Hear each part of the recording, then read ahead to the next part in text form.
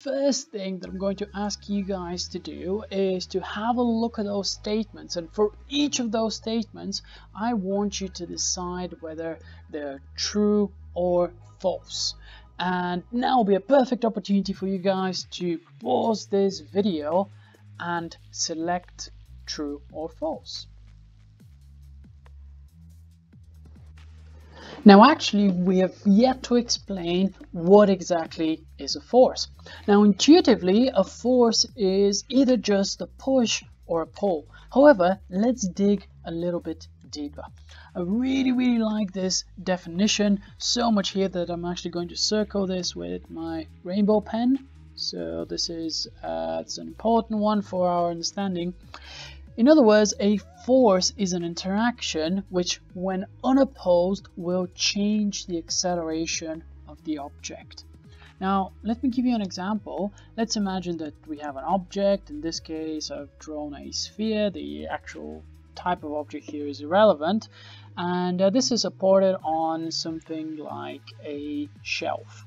So um, we have two forces acting. We have the force uh, due to gravity, which is the weight acting downwards, and we have the normal reaction from this support, which is acting upwards. Now let's imagine that if, that if we were to just remove the support force, so we can just remove this vector r over here, and if we were to remove this uh, the support, we can't just remove one of them. So um, what will actually happen to the object. Let's be a little bit careful like that. The object will begin to accelerate downwards if we were to remove the support.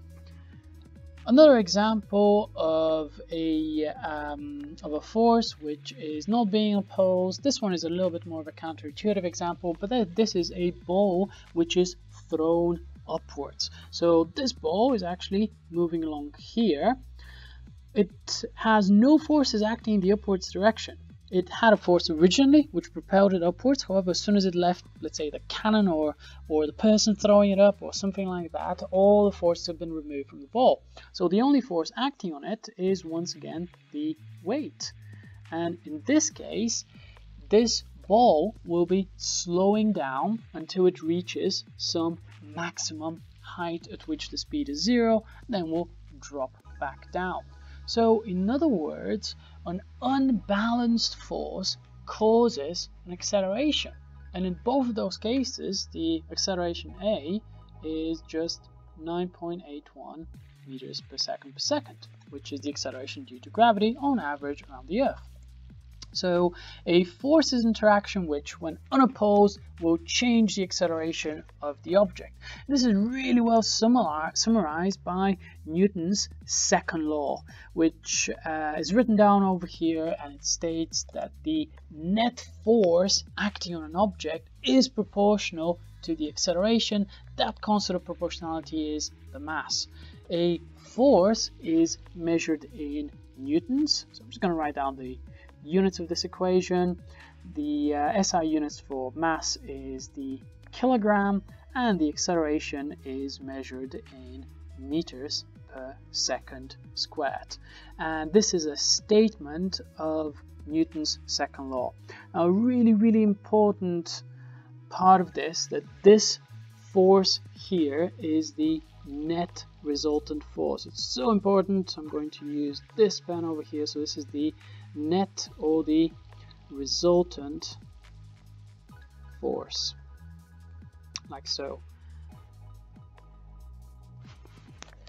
Now this equation is telling us really that the amount of force that must be acting on an object is proportional to the mass and also to the acceleration. It's also telling us that the acceleration on an object so if we were to just rearrange that for, for A, the acceleration of an, of an object is going to equal to the net force acting on it divided by the mass. Now let's apply this to a couple of examples. We have two objects. One is a 10 kilogram object, the other one is a 100 kilogram object. Both of those objects have a 10 Newton force acting horizontally across and what I'd like you to find is the acceleration. This will be a perfect opportunity for you guys to pause this video and quickly attempt that question.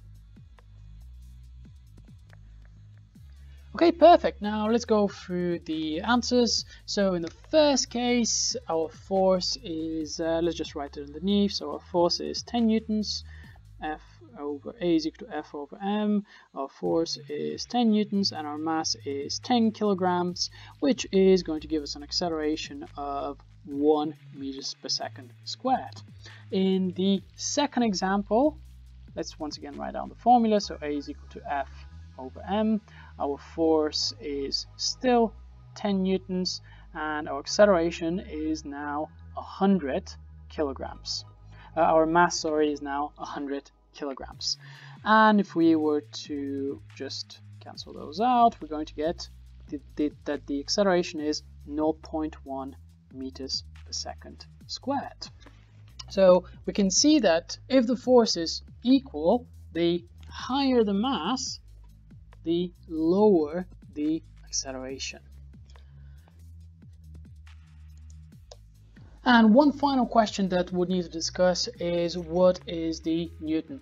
Remember, anytime we are defining a unit, we need to do so in terms of other units. The first thing we need to do is just write down a basic equation for that unit. So in this case, the equation is F is equal to ma.